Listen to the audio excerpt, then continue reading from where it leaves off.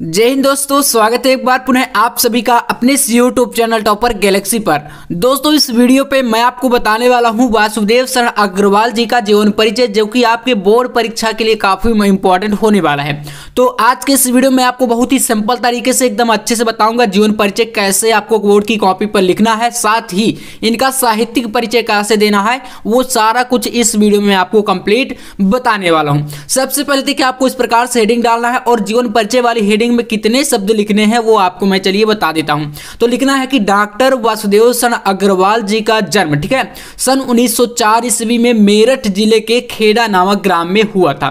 तो ये हमारा हो गया मतलब इनका जन्म जो है 1904 में मेरठ ज़िले के खेड़ा नामक ग्राम में हुआ था, ठीक है? मेरठ मतलब यूपी उत्तर प्रदेश, ठीक है? इतना हुआ, फिर इसके बाद यहाँ पर आपको लिखना है कि इनके माता पिता लखनऊ में रहते थे, इसलिए इनका बचपन लखनऊ में ही व्यतीत हुआ, ठीक है? मतलब माता पिता लखनऊ में रहते थे और इनका जो बचपन है, वो भी लखनऊ में ही व्यतीत हुआ था, ठीक है?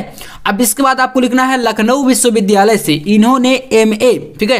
यानी मास्टर ऑफ़ आर्ट एमए की परीक्षा उत्तीर्ण की, यहीं से इन्होंने पीएचडी व डीलिट की उपाधि भी प्राप्त की। ठीक है? मतलब इन्होंने पीएचडी भी यहीं से करी और डीलिट मतलब डॉक्टर ऑफ़ लिटरेचर तो डीलेट की उपाधि भी यहाँ से प्राप्त की। इसके बाद यहाँ पर है, ये बनारस हिंदू विश्वविद्यालय, यानी कि जो काशी हिंदू विश्वविद्यालय है, वहाँ पर जो है पुरातत्व एवं प्राचीन इतिहास विभाग के अध्यक्ष एवं आचार्य रहे। ये हो गया। इसके बाद आपको मतलब जितना मैं बता रहा हूँ, बस इतना आपको लिखते जाना है, और इधर उधर की चीज़ें काफ़ी सारी जो होती है वो नहीं लिखना, ठीक है? इसके बाद यहाँ पर लिखना इतिहास विभाग के अध्यक्ष एवं आचार्य रहे हिंदी जगत के जाने माने लेखक, डॉक्टर वासुदेव सर अग्रवाल जी की मृत्यु सन उन्नीस ईस्वी में हो गई, ठीक है? उन्नीस ईस्वी को उनकी जो है, देहांत इनका हो चुका था।